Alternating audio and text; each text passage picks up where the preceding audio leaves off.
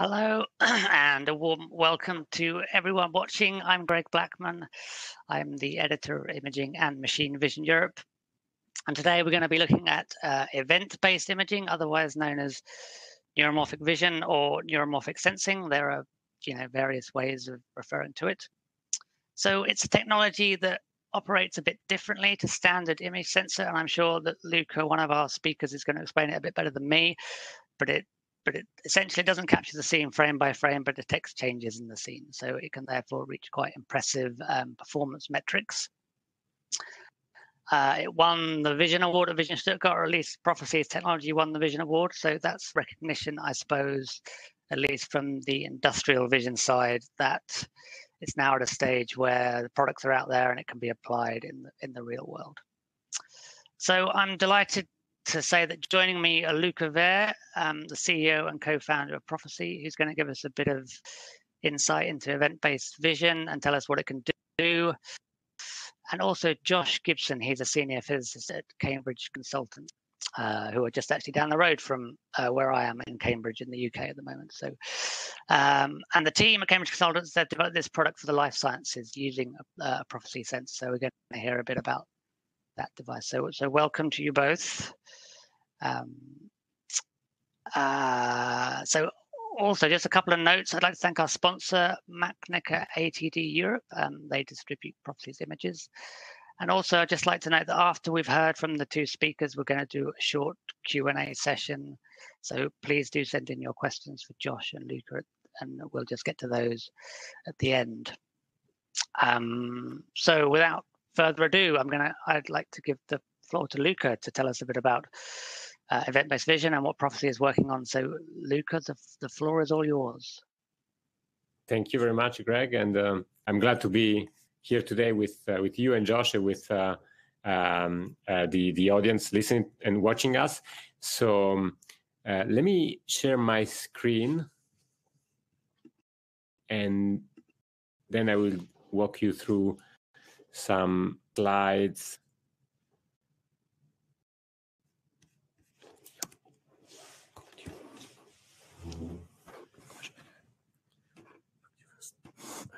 Sorry, one second. Yeah, okay. Do you see my screen? Hopefully. So, so I'm Luca, co-founder of Prophesee. I co-founder Paris. Uh, we are the technology leader in neuromorphic vision sensor and systems. Uh, our vision sensor mimics the human eye, and our computer, vi computer vision AI algorithm mimic the way the brain uh, works. As opposed to conventional frame-based technology, as you described earlier, that capture information by sequence of images, our vision sensor, like the human eye, is only reacting to changes in the scene, only to what is uh, moving. Uh, and this lead to unprecedented uh, uh, performance figures in terms of efficiency, in terms of speed, in terms of uh, uh, dynamic range, so robustness to changing lighting conditions we started with the very first implementation of our technology for vision restoration of blind. And since then, our journey has opening up opportunities in various field of applications, including industrial, IoT, and more recently, robotics and mobile. Uh, we are a venture-backed company. We raised so far about $100 million from both corporate and financial investors such as uh, Sony, Intel, Bosch, uh, Xiaomi, Renault Nissan, and uh, the European Investment Bank, and many others. Um, as a market leader, uh, we have been uh, uh, actually spending also some of, focus on, on um, growing our IP portfolio with more than 50 patents. We are a group of today more than 100 engineers, mostly based in France, in Paris and Grenoble. Uh, but we also uh, uh, grow our presence uh, recently in China, in Shanghai, as well as in Japan and the US. Our business model is um, quite straightforward uh, in the sense we are a semiconductors fabless company. We do the entire design of the chip, of the vision sensor, of the silicon retina. Uh, and we work with partners like uh, Sony to do the manufacturing. And then we sell the component, we sell the chip, Uh, but we also provide uh, uh our uh, uh, software development kit, MetaVision Intelligence, to our customer, to our partners, in order to let them basically develop an entire application. On the right side of the screen, actually, you see some of the name of partners in the ecosystem that are currently actively working with Prophesee to deliver to the market a full neuromorphic or event-based. So how the technology works. So, uh, as mentioned, the vision sensor mimics the human eye in the sense that uh, is not producing an entire image. Each single pixel is independent and asynchronous and reacting only to what is changing in the scene, like you see in the video here. Uh, when I move in front of our camera, our sensor, our sensor is not producing an image. Like, for example, the background, which is static, is not being acquired, and only what is uh, changing. So my shoulders, my eyes, my hands that are moving produce uh, event. And the way we do it is by uh, embedding some analog processing inside each single pixel, making it uh, uh independent and asynchronous and capable to react only when there is a relative change of light by uh, implementing a so-called level crossing sampling inside each single each single pixel. So the first uh, key benefit of this acquisition approach is that, as you can realize from uh, the data, which are the raw data coming out of the sensor uh, in this uh, video, uh, the, the data, the, the, amount of data is drastically reduced compared to a conventional frame-based approach. Because as long as there is no change in the scene, in fact, there is no no information, there are no data being produced by our by our sensor. So efficiency is one of the key uh, value of the technology, which I would like to emphasize by showing this uh, side-by-side video, where on the left side you see a regular camera, uh, and on the right side you see a Prophesee event-based neuromorphic camera that again is reacting mostly to edges uh, because uh, this is what uh, essentially trigger new changes when there is a there is emotion in the scene. Um, so the purpose of our technology is not, in fact, purely imaging. So our technology is meant uh, for um, computer vision and, AI applications. Uh, so naturally, from our sensor, you get the pure information that uh, is necessary to uh, to do some machine vision or machine learning task. Like for example, in this uh, in this example, it could be eye blinking detection or uh, gesture recognition or uh, gaze tracking, etc. So instead of uh, actually acquiring sequence of images at a fixed point in time and extracting image by image and pixel by pixel what is changing, you get basically the changes directly, natively uh, from the sensor itself. So this make actually the approach the mathematical approach to uh, computer vision and AI simpler and more efficient.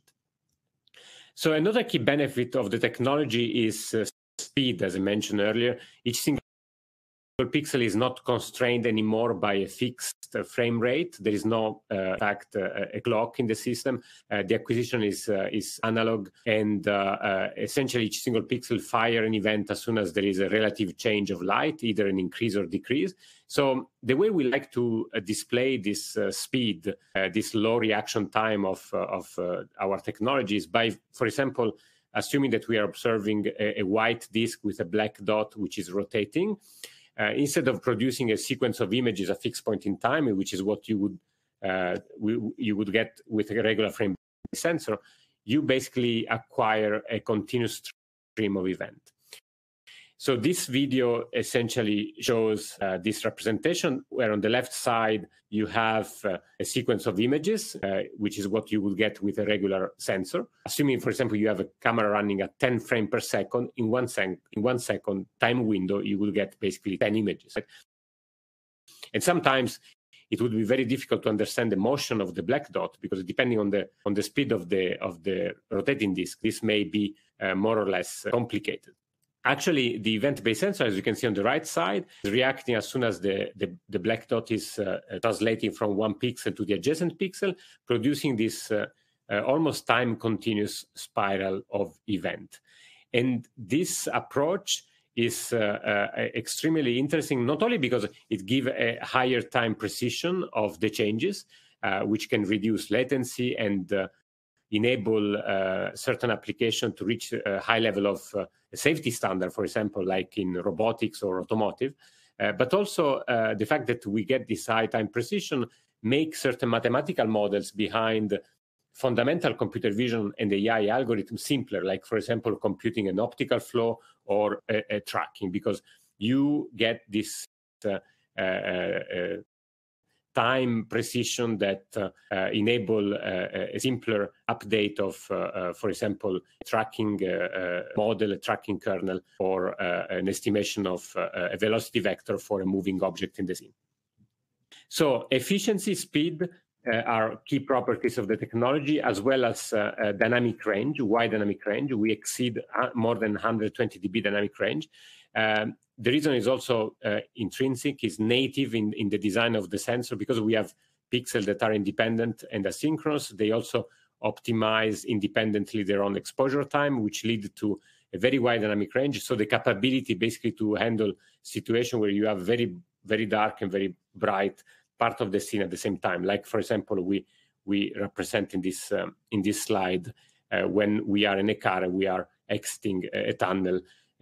A quite challenging situation for a conventional frame-based camera because uh, either you look at the dark part of the scene or, or, at the bright part of the scene, but it's very challenging to actually uh, look at both parts of the scene with the same uh, precision uh, at the same time. So all this benefit of speed, efficiency, and dynamic range are happening at the same time. So leading really to uh, new possibilities in the field of uh machine vision and AI.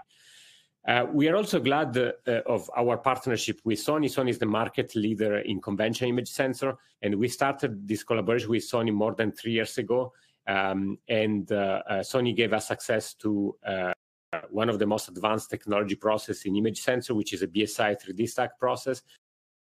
And this uh, uh, technology uh, migration has been fundamental for us because we managed to build the smallest uh, event-based sensor, which is today mass production and available in the market.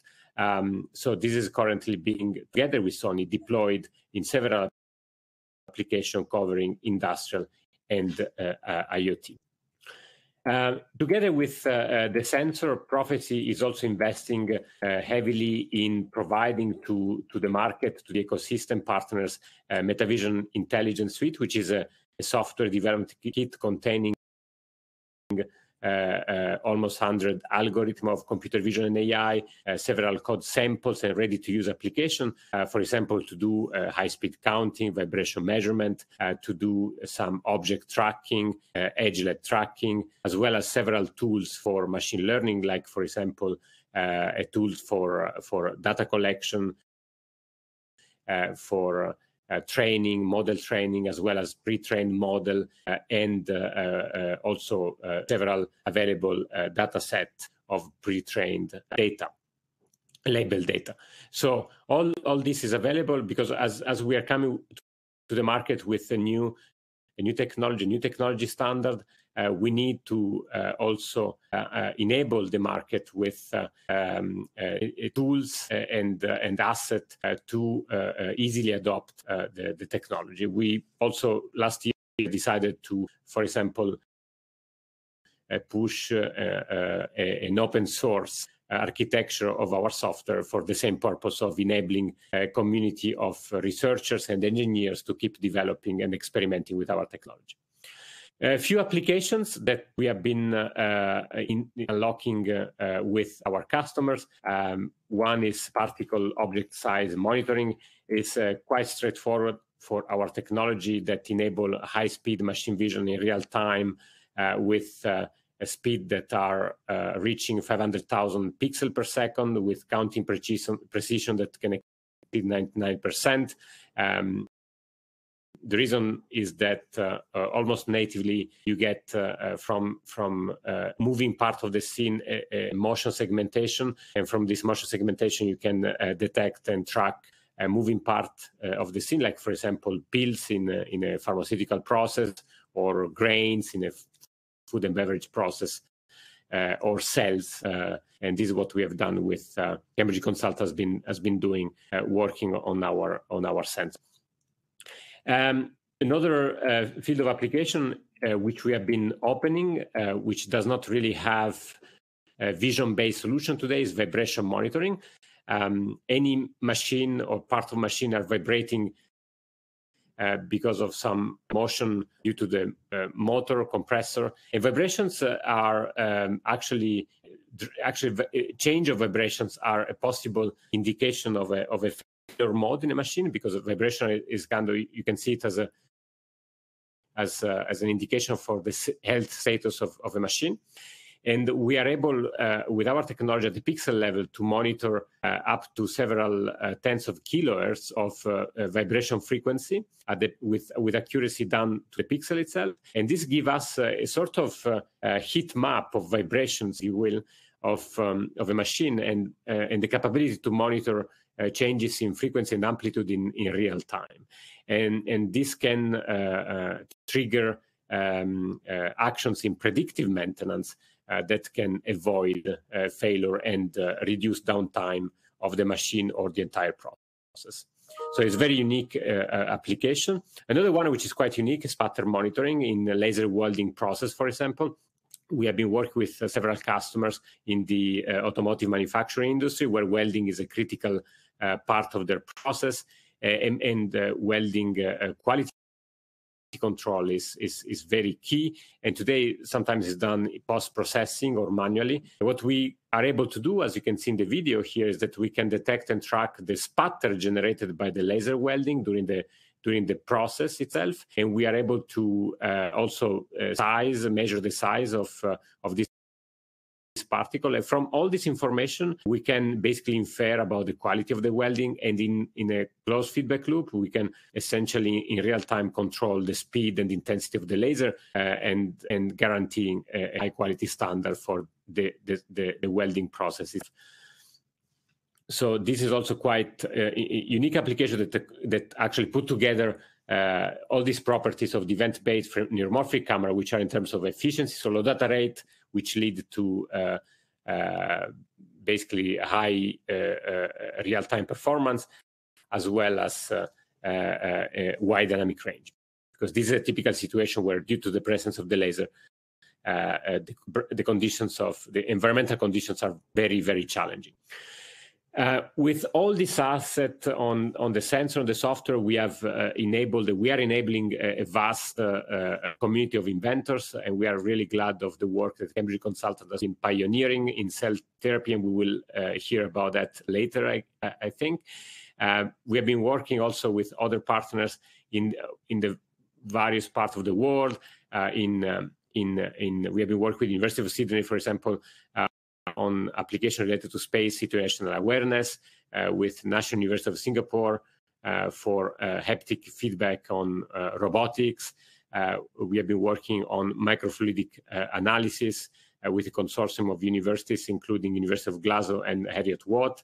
And um, we have been actually working since the, the beginning of the company on several projects related to vision restoration system, which remain one of our um, profound and uh, um, inspirational uh, uh, activity, which is to uh, serve uh, application like the one developed by GenSight, which is one of our key customer and partner, uh, combining our technology with certain optogenetic therapies to restore to restore sight of people who are blind. So, uh, and this actually uh, uh, is, a, I think, is probably a good way to to close this this presentation because it, I think it gives you the real essence of of the technology, which is really um, which has really root in in the way uh, biology works. Uh, so this is uh, this this application is the best example of of of how much this neuromorphic or bio inspired approach is close to reality. Uh, before I close, um, also I would like to indicate the fact that we are uh, uh, visit our website. You can also find several information about how to start an evaluation with the technology. Several uh, uh, assets are available in terms of evaluation kit, reference de design, development kit, and and software as well, so that you can um, bootstrap with with a first evaluation of the technology before going to a full development. Thank you for your attention and uh, looking forward to your questions and to the discussion later. Thanks very much, Luca. Um, yeah, we'll do questions after Josh has spoken. So, uh, but please do drop those questions in for Luca if you have any questions for Luca, and we'll get to those at the end. Uh, so up next, we've got Josh Gibson, who is going to tell us a bit about the work that um, he's been doing with Cambridge Consultants uh, about the life science product. So, so Josh, the floor is all yours. Great, thanks, Greg. Thanks, Luca. Um, can you see my slides? Have I started sharing them? I think we should. I think the audience should be able to see them, even if you cannot. Okay, great. Um, so, yeah, hi, I'm uh, Josh. I'm a physicist at Cambridge Consultants. Um, at Cambridge Consultants, we bring together teams of scientists and engineers and software developers and designers to um, help our clients to integrate new technologies like Prophesee's event-based camera into their products and to release kind of innovative and breakthrough products um, to the market. So it's been uh, great to be working with a new sensing technology over the last year. I have a background in optics, so it's been very interesting from that perspective, uh, and also a background in microfluidics and automating uh, processes. And so Pure Sentry has been a, a, perfect opportunity to bring all of those uh, fields and interests of mine together. Um, and so today I'm going to talk to you about Pure Sentry, which is our automated contamination detection system that uses properties of event-based camera. So cell therapy is a huge and uh, hugely growing market. Um, it's the future of precision medicine. But I thought first off, before diving into why it's so good, it'd be, it'd be helpful to just think about what cell therapy is. Um, so your body has an immune system, and certainly through COVID, we're all very familiar with what that does. Um, we've heard lots about antibodies, and they they flow around our body and help to fight off infections and certain diseases. Uh, but in the immune system, we also have uh, T cells, and these are cells that flow around in our blood, and they have uh, markers on them that can look for cells in our body which are misbehaving, that are not doing what they're supposed to do. And so they're good at fighting off infections. They work differently to antibodies, but they're, they're effective at their job. Um, but cancer is a pretty problematic disease. It's quite challenging, and um, it's very good at evading the immune system. And so, what the intention of cell therapies is, is that if you have a sick patient with cancer, you take some of their blood out of them, and then you extract the T cells that the patient already has. You carry out some genetic engineering to those T cells and improve the T cells' ability to recognize the cancer that the patient has. You then go through a manufacturing process, which is where Pure Sentry is relevant, where you multiply those T cells and grow them in bioreactors so that instead of being tens or hundreds of um, engineered T cells, there are now millions and then you inject those uh, bioengineered T cells back into the patient. And now the patient has a superset of T cells specifically designed to uh, find, recognize, and destroy the cancer that they have. Uh, and the body tends to not reject them because it is the patient's own cells. And so it is a, a fantastic process, and uh, cures are now available for certain types of cancer, primarily blood-borne cancers like leukemia, um, that are based on this reprogramming of patient cells. And you might have seen it in the news um, over the last week. Uh, it's been 10 years um, to the week since the first two patients in America were given cell and gene therapies. And within three months of being given this, uh, these uh, CAR T cells, the engineered T cells, the patients experienced complete remission from cancer um, and their body had fought off the cancer that they had. And then over the 10 years since, with this follow up study, they've had no reoccurrence of cancer, um, those two patients. And now they still have the genetically engineered T cells traveling around the body in their bloodstream fighting off any potential cancerous cells that might start to reappear um, in them. So it's an incredible process, um, but it's while it's a very sophisticated process, it requires genetic engineering. A lot of it is still very manual and labor intensive, and it requires people to be in clean rooms doing things by hand. And so this makes it really expensive. A single dose of a cell therapy um, can cost up to half a million dollars. Um, and it has to be sterile to be given to a patient. That's part of the cost because, of course, these patients are really uh, unwell with cancer. They often have immuno, um, they're often immunocompromised. And so, if we had a contaminated uh, cell therapy batch that we gave to them, that patient's likely to get a secondary infection, be very unwell with it, and most likely die. Um, and this happens not not patients dying, but contaminated doses happen in two percent of batches, which when it costs half a million dollars per batch, that's a significant number and it's a huge cost to manufacturers, but it's also a significant number of patients who don't have access to these life-saving treatments um, and ultimately you know, aren't able to recover from their cancer. So it's really important to think about ways we can bring down the cost and make this a more accessible treatment so that the, the increasing numbers of people with cancers are able to get access to it. So the way that we make sure the cell, the uh, treatments are safe to give to patients is sterility testing. And this is obviously checking that the um, batch is sterile for the patient. And the standard way to do this is um, in the US is USP 71. And this is a, a manual process that takes uh, seven to 14 days, so one to two weeks. And in it, a person in a clean room, like on the picture on the right, um, will take a small sample um, out of the cell culture that's growing.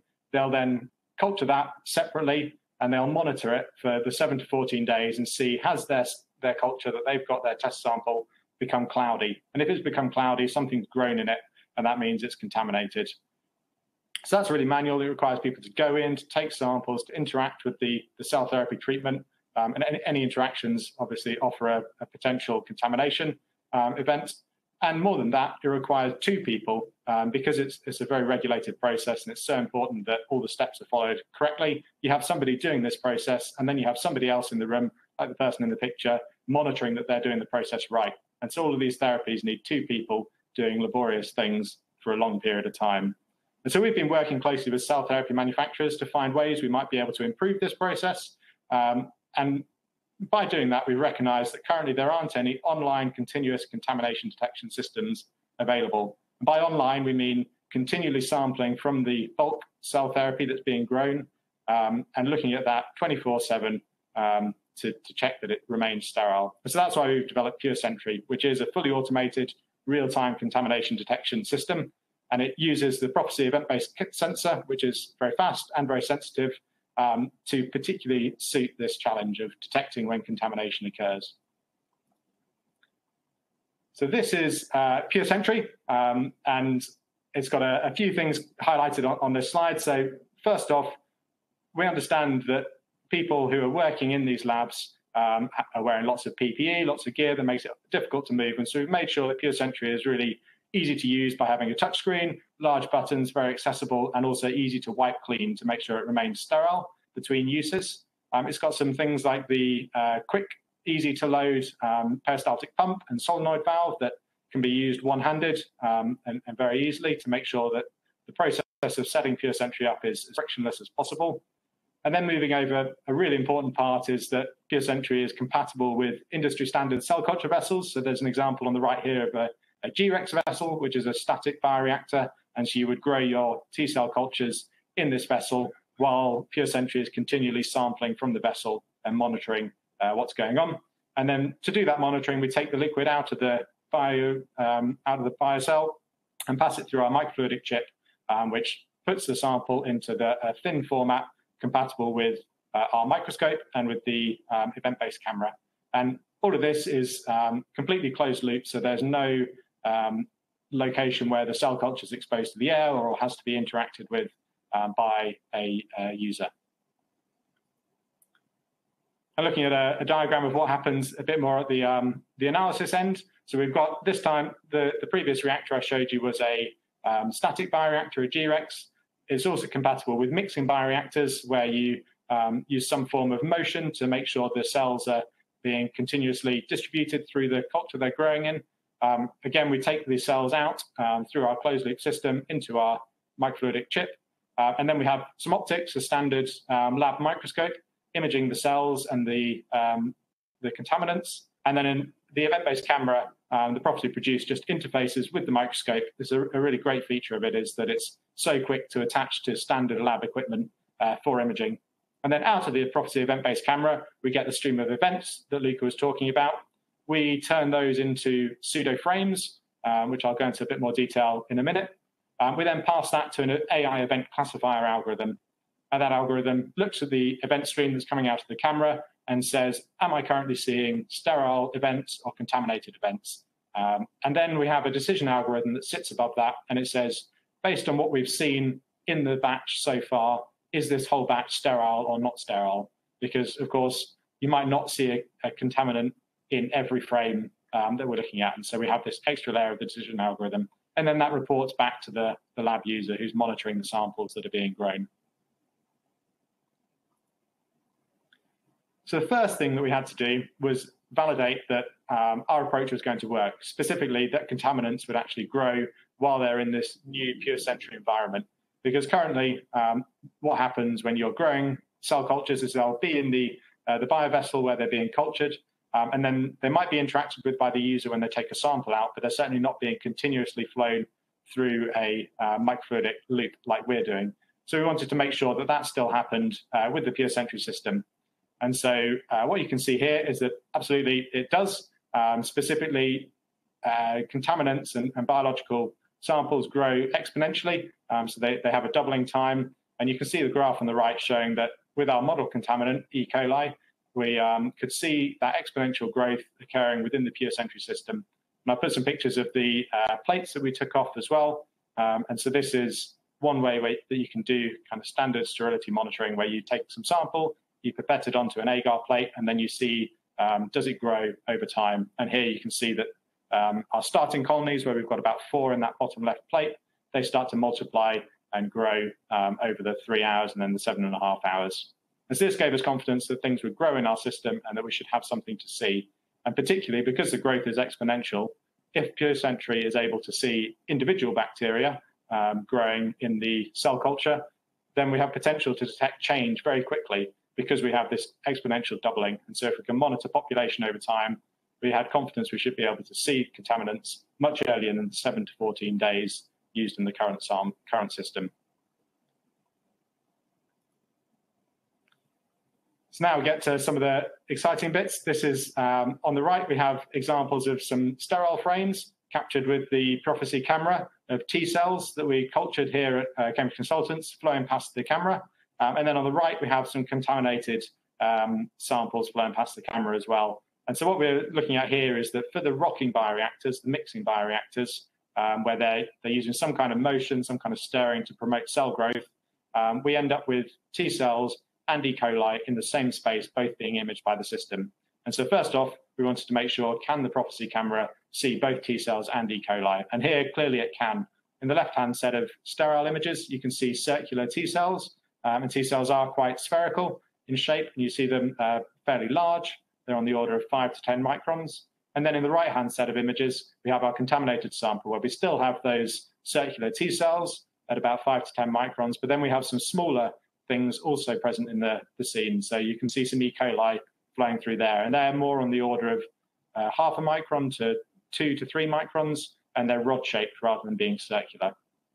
And so we cultured these in-house. We contaminated some of the T cell cultures that we had grown with E. coli, um, spiked it in, and then we monitored that with a sensor. Um, and we were very impressed that we could see both T cells, which are mostly water um, and typically quite hard to see under a, a normal microscope um, without using special imaging techniques, and E. coli, which are uh, differently under optical systems. Um, and particularly helpful here for machine learning is you can see the um, black border around the T cells. And this is the way that the Prophesee camera essentially does a form of edge detection in hardware. And so we can pick up the edges of our T cells to really see the morphology of them. Uh, so I'll change over to a video um, in a minute to share that with you um, of what the system looks like in motion. Uh, but just to talk through some of the benefits, um, we, the, in the video you'll see uh, T cells being highlighted um, by the system and E. coli being highlighted as well. And you can see that they appear in the, the camera and what happens is they flow past. So I'll share that now.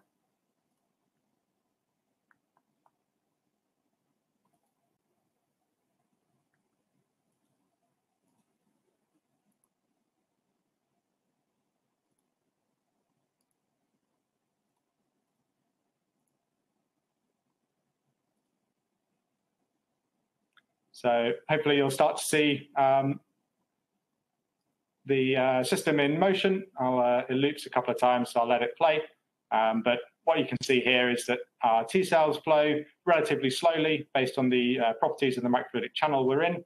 Um, there's also a bit of a flow gradient across the channel um, where liquid travels faster in the middle than at the edges. And you see some E. coli moving along there as well, kind of moving in and out of focus as they um, change their, their depth position in our microfluidic channel. And uh, I don't think you can see any in this video, but one of the really interesting things we could see with the uh, Prophesee camera, which we've not seen with uh, any imaging we've done in, in microscopy at Cambridge Consultants before, is you get some cartwheeling motion of the E. coli where they're rod shaped, and as they flow through the chip at fairly high speeds, um, rather than traveling kind of in a, a, straight line, they end up spinning around, and you can see the rod um, rotating. And, and that's another nice way to tell apart the T cells that we're looking at and the E. coli that are flowing through.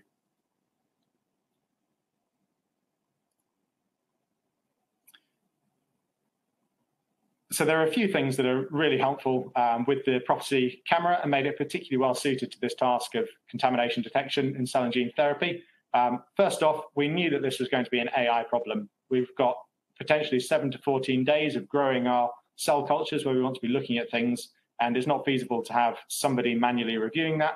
And also, the cells and the E. coli look different uh, batch to batch, and there might be other things present. And so we knew we wanted an AI rather than a human operator or a hard coded algorithm, um, looking at what was going on. And the Prophesee data streams that you get out, because they just show things that are changing in the scene, that what you get is a really high density of meaningful information to look at. And that's great for doing low cost, low power uh, machine learning, and particularly for trying to do real time machine learning, which is what we wanted to do. And so you get data that's well suited for the task that we are trying to do. Also, Luca talked about the high dynamic range of the system.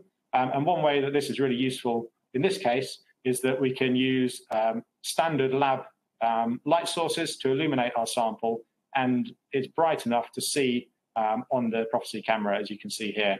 And particularly as you um, increase the speed that the cells are flowing at, the camera can continue to pick them up with a standard lab light source instead of having to move to higher power light sources, potentially lasers, which is what often happens um, for life sciences imaging, uh, or strobed sensors. And as well as being cheaper, the light source, another benefit is that you avoid any uh, photo bleaching and potential damage to the cells. And then the last part is it's well suited for scaling to um, cell culture around the world because the chips of Prophesee produce are significantly cheaper than, say, um, some of the other optical techniques that uh, technologies that are available, like um, high frame rate cameras or um, optical streak cameras.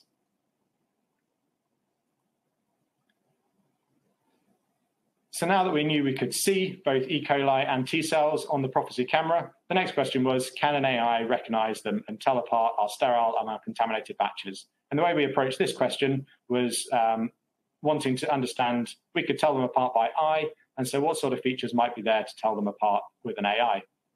And we needed some insight to guide choice of our suitable machine learning algorithm, and particularly in this case, unsupervised algorithms that don't require a human operator to label data sets were really um, beneficial because it's a laborious process. Um, we did it early on in the development, and I think um, one of my team members labeled 90,000 images um, to help the machine learning algorithm understand what it was looking at. And that took a long time. It's not very interesting work, and it's not very scalable to different uh, types of contaminants. And so what we did here is we built a, um, a machine vision software um, to look at the frames and look at the size of objects flowing through them. And you can see in our sterile frame, we have mostly uh, monomodal distribution. There's some noise kind of uh, at the smaller end of the, the size scale, but there's this hump of T cells flowing through the system. And then distinctly different in our contaminated data set, we have a bimodal distribution where there's a huge peak of E. coli that are flowing when we spike them in. And so we knew that we could see a difference and that computer vision could also see that difference. And so had good confidence that unsupervised AI should also be able to see the difference. So that what we did next was obviously developing that unsupervised AI, um, and particularly what we recognized was important in this case is our E. coli are growing over time, and so we needed a system that could remember what it had seen before and detect some kind of change in the batch as the sample was becoming contaminated. So it could say mm, it might be contaminated now, and then a bit later it could say, "Oh, I've seen a lot more contaminants. It's definitely contaminated now."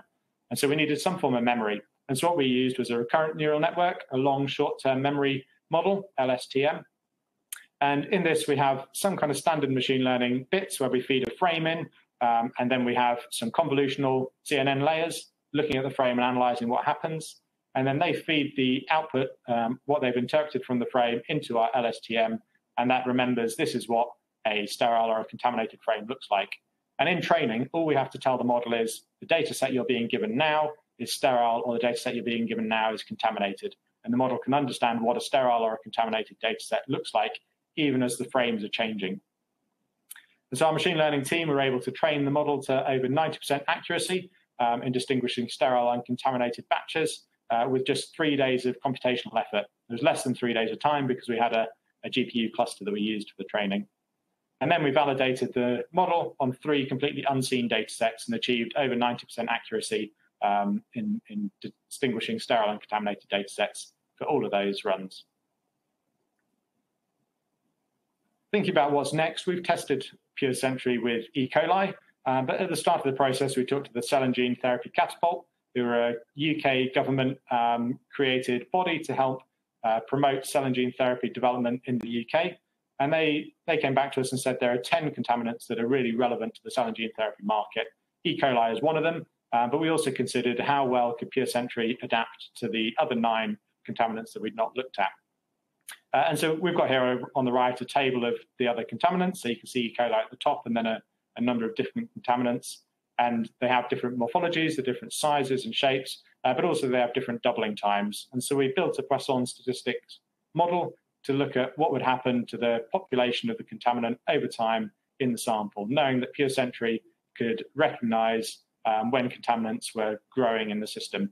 Uh, and we found that even in the worst case of uh, mycoplasma, we would still expect to see um, contamination within five and a half days in the worst case, which is much quicker than the seven to 14 days of a growth-based test. And that's for the worst case contaminant.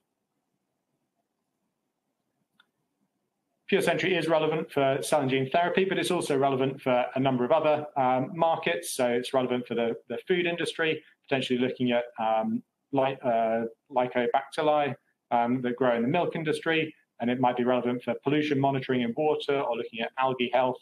Um, so we think there are a range of potential uses for the system and for Prophesee's camera. Um, and critically, what make it relevant to all these different areas is that it uses low-cost parts, it uses an unsupervised algorithm, so we can easily retrain it to new data sets for different markets. Um, and also, Luca mentioned that Prophesee now have a new fourth generation sensor developed with uh, Sony. That wasn't the one we used, but it's higher resolution and has better dynamic range. And so you should be able to see smaller bacteria, get more clarity on the E. coli we were looking at, and also increase the uh, flow rates of the sample to sample more solution in a shorter time um, due to the uh, improved dynamic range. Uh, and the sensor has also been proven with higher volumes and throughputs than we were using it on. Um, so we put together a white paper that goes into a bit more detail on this, so feel free to have a look. But um, now I'll hand back to Greg and be happy to answer any questions.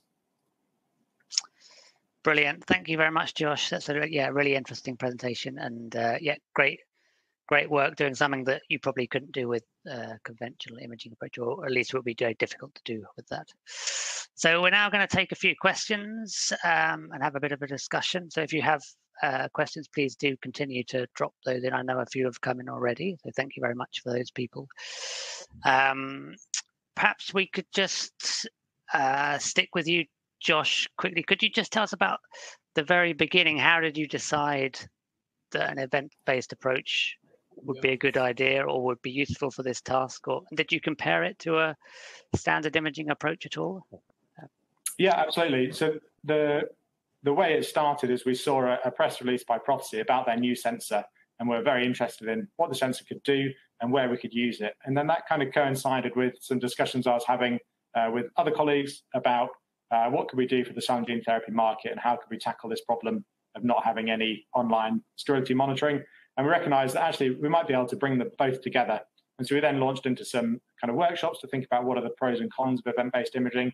And one of the big things that stood out for this market was A, the relative small size of the data set you get from an event-based camera, which is really useful when we want to look at long periods of data, so the 7 to 14 days of growth, um, but also the fact that it did do this kind of edge detection in hardware, and so we could ignore any kind of minor fluctuations of brightness and any kind of small particles that might come through or or bubbles in the system would be easier to ignore with the event-based camera. And that was really what drove us towards it. And the other part that was useful was we could use the standard microscope that we have and the light source we had and didn't have to worry about safety and development implementations of um, trying to build a laser into our system. Right. Yeah. Okay. Could you just um, quickly as well give us a bit of an insight into what it was like developing with the technology? Is it similar or, di or different to um, like standard standard imaging approaches? Hmm, yeah, I think one of the things that stood out for us as being different, uh, two, two big things that were different. Um, one is for the machine learning uh, people we were working with, they're not familiar with event-based data. Uh, certainly, Cambridge consultants were not, and there's an increasing body of academic literature that is get, becoming used to working with event streams and starting to think how can we work with that. We did an initial foray into could we work directly with the event-based streams and perform some kind of AI analysis of them and found that was a bit of a hurdle to that. And so I think the work that Prophesee are doing to try and push the field of working directly with the event stream rather than the frame based um, data was valuable. But it did offer a real benefit because we could create the frames at whatever frame rate we wanted with whatever amount of blurring we wanted, because blurring is just lots of events um, over a period of time as the, the particle is moving through it. Um, it meant we could kind of pick the frame rate we wanted for our camera that best suited the application. And that was a really nice thing about this. We could collect the data and then afterwards decide how do we want to partition it up into frames. Another difference uh, that was challenging in the lab is you can't focus the cameras in the same way you normally do. If you have a static sample, which is usually the way you want to focus, like a, a test target, you don't see it as you change the focus of the camera um, or the microscope because nothing's moving, nothing's changing, and you don't get any edges. And so we had to go through some iterations of a lab protocol to flow our sample in a very high concentration, uh, the exact sample we were trying to look at, the E. coli, past the microscope, try to get somewhere near to focus so that we could suddenly see the E. coli appear on the camera and then hone in focus. And there was a bit of a challenge there with trying to work out what you could do um, to do that. Another way, if we had a light source that we could control programmatically, would be to flash it on and off, and you would see the edges appearing there, but, but we didn't have a, a controllable light source. Um, yeah, I think those two are the differences. Okay, excellent. Thank you very much. Uh, there's a few questions for Luca, um, or at least they came in during Luca's presentation. So perhaps we could just take a few of those. So there's one about, um, uh, let me see if I can find it. There's one about processing and whether, um, scroll up, uh, and whether the, whether you use neuromorphic compute like uh, Gray uh, Gray ML, for example. Um, uh, perhaps you could could you could you give yeah. a bit bit of information about sure. that?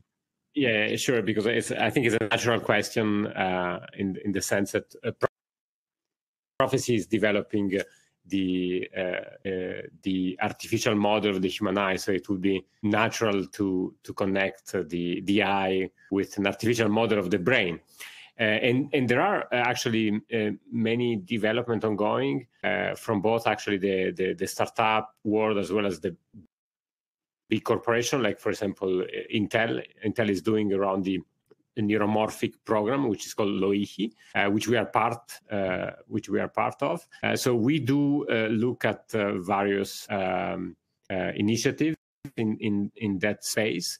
We have also a partnership with uh, uh, a spin-off of the ETH uh, Zurich, which is called SynSense, which is also developing a spiking neural network. Because indeed, there is a there is an interest of connecting.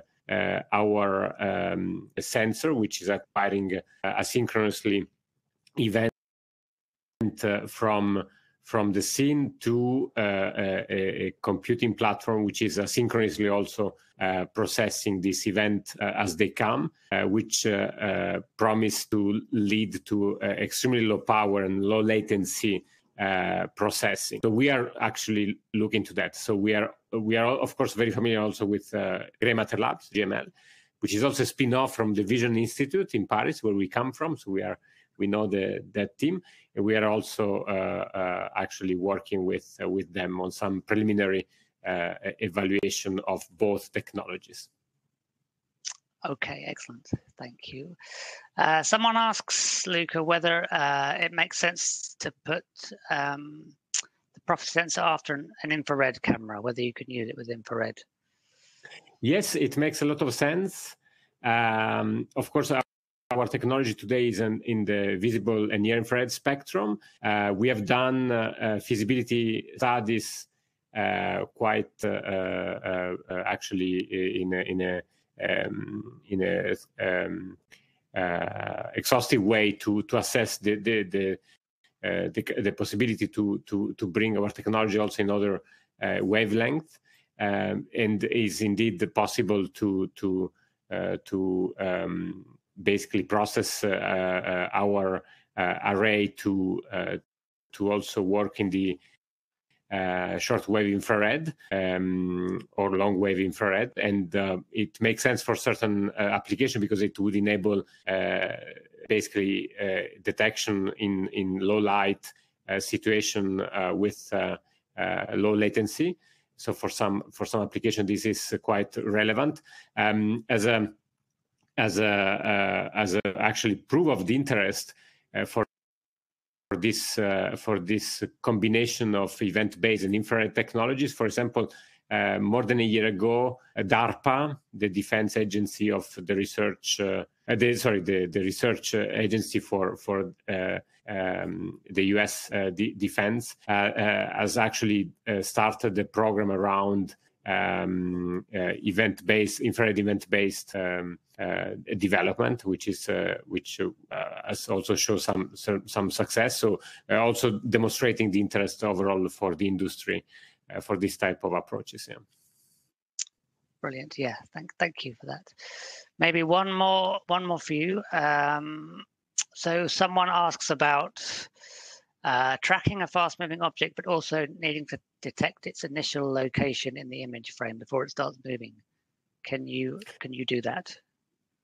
um, if the camera is static and the object is uh, static, uh, there is no such uh, such an acquisition. You need either to uh, move the camera uh, and the object is static in the scene, or the object in the scene start moving. So at that point in time, you will uh, you will see change event. But as long as there is there is no relative motion between the camera and the target you are looking in the scene, there is no there are no event the way you can uh, uh, really um, uh, get around this this challenge, if if this is a challenge for your application, because typically you can in most of the application you can always assume that if there are, there are no event it means that there is no there is nothing new compared to the initial state. So there is nothing in, informative to, to, to care about. Uh, but in some cases, maybe this is relevant like uh, that's probably the reason of the question so in this case there are two possibilities either you use you combine an event-based sensor uh, with a regular frame-based sensor that is meant actually to do this initial detection uh, of a static object uh, and then triggering an event-based sensor uh, to to do for example a fast tracking or you can use some active light um, to illuminate the scene. So in that case, you would have you would have uh, um, a representation of the scene uh, with uh, also this uh, static object. Right. Okay. Uh, is that when you say active light? Is that the thing that uh, there's some work at ETH Zurich about? Yeah. neuromorphic lighting, but is that is that different or? Yeah, there are different approaches actually um, that have been published uh, in the past few years from universities, but also from a private company. For example, uh, also Prophesee has been uh, actively experimenting with and evaluating with customer the combination of event-based sensor with active light. And we will be actually soon also make an announcement around a collaboration we are doing with one of the market leader uh, in um, uh, light projector uh, for various application fields, which include robotics, industrial automation, as well as, for example, consumer devices like augmented reality headset for, for localization.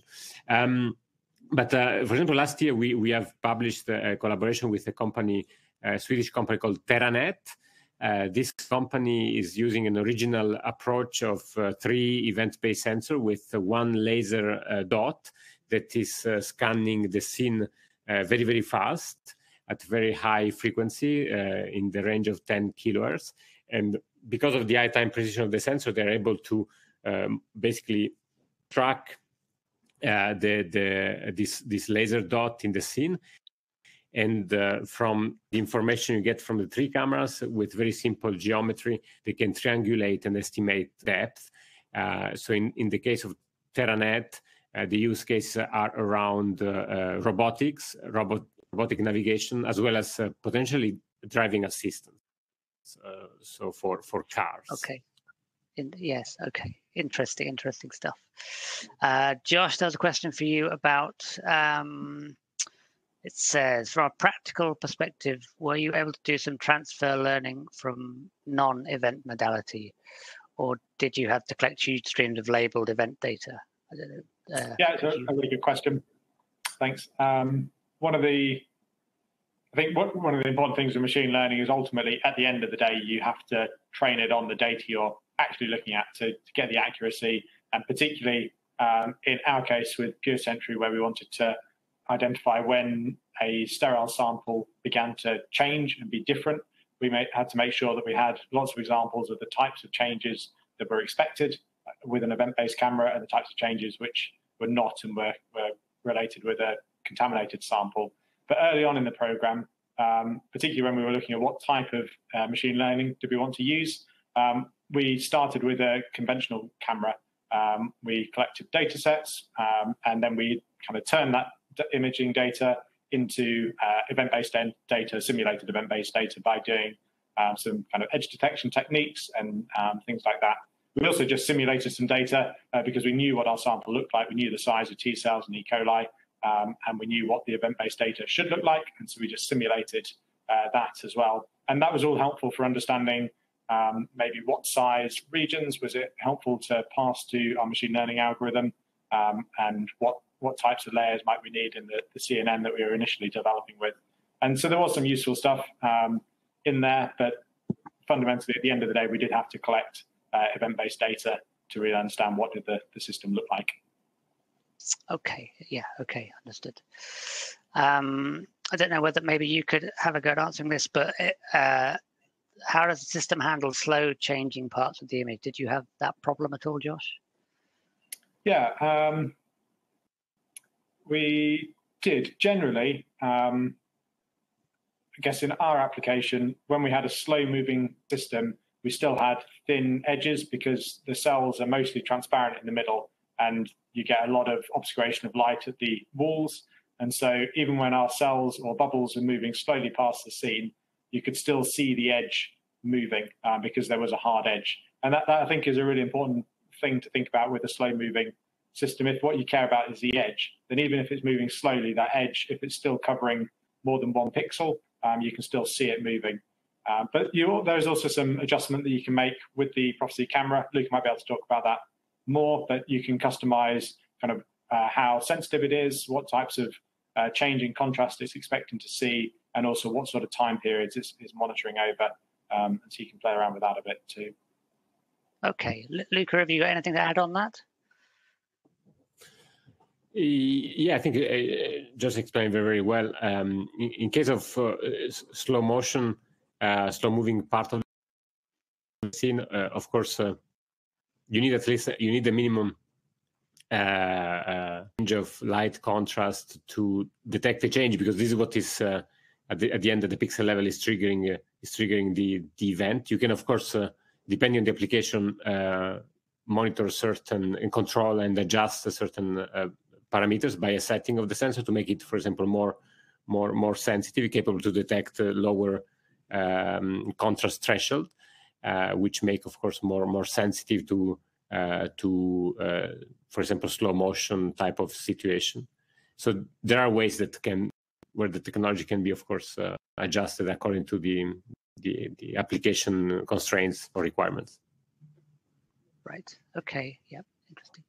Okay, maybe just one more image for. Oh, I don't know whether we've lost it completely. Uh, okay. Um, uh, may, uh, I did have one more question, but I'm not sure whether it's disappeared completely. Um, but okay, um, there was there was a quick question about sensor fusion and whether it can be addressed, uh, whether you can uh, fuse it with lidar, I guess, or radar, for example. Um, this was to Luca. I don't know whether quick just quickly mention that or answer that. Yeah.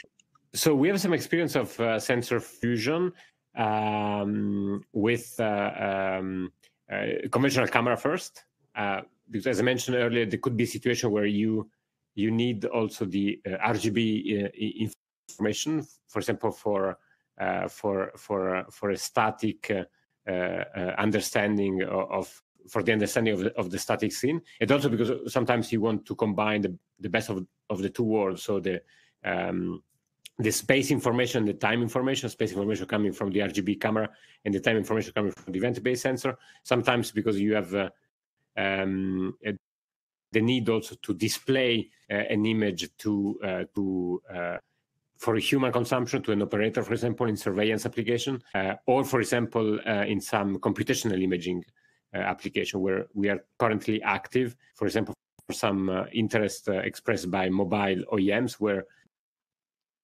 the basic principle is to use the time information that the event space provide to, to improve image quality sometimes deteriorated due to the motion of uh, of a target uh, during uh, during the exposure time uh, of, um, of, of a regular sensor while you're trying to to get uh, to capture a picture or or a video. So these are our, our application where we are currently active. Uh, we have been in the past also active uh, looking at fusion of uh, of lidar and event-based sensor, but more in a in a in a in the approach I was referring to before, with more an active light. Uh, based sensor itself to uh, potentially repla- replace a LiDAR. We have never so far worked on combining uh, 3D output coming from a LiDAR with an event-based uh, um, stream because uh, again the event-based sensor itself could be used also to produce 3D point cloud with a, suitable uh, active light system. the last point I want to mention: fusion with radar is in principle quite interesting because the radar to some extent is also a, a time uh, um, uh, a, sensor. Um, but we is not something we have been uh, um, we have been exploring so far. Okay, understood. Yeah, understood. Uh, maybe just one last question for Josh because I found it now. Um, so it just asks how long it took bef- uh, before you started concrete development. Was it days, weeks, months? Could you give an idea? Yeah, um, really, really quick to get up and running with the system. So I mentioned in my presentation that we could connect it to the microscope, and that was great because it meant we didn't have to spend any time developing optical attachments or, or things like that. We could just culture our cells, get some E. coli, stick them under a microscope with a standard uh, kind of plate or a slide that you might look at them with, and then we could kind of quickly to see how do they look like. We could jiggle them around on the stage of the microscope, or we could pump stuff around with manually with syringes. And so we were in the the lab having a look at stuff within a week of getting the camera, uh, which was great. And then also, I don't think it's been mentioned, but you can develop for the camera with Python which was great for us because it also meant developing software and trying some of the automation was quick to iterate and quick for us to do. Brilliant. Okay, thanks very much, Josh. Okay, I think uh, with that, the hour's sort of up. We've or a few minutes over, but um, I think with that, I'll bring the webcast to a close. So it's going to remain live on our website um, for the next 12 months. That's www.imveurope.com. And if you want to watch it again, uh, so it just leaves me to thank our speakers, Luca and Josh, and also our sponsor, Macnica ATD Europe. And also thanks all for listening. Um, have a good day.